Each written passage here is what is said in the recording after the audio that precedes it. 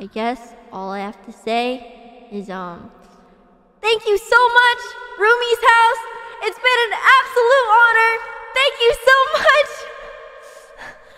I can't thank you enough. It's been an absolute pleasure. I can't wait to see what the rest of my life has to offer. Thank you so much, Roomies. Thank you, Ray, Miyoung, Leslie.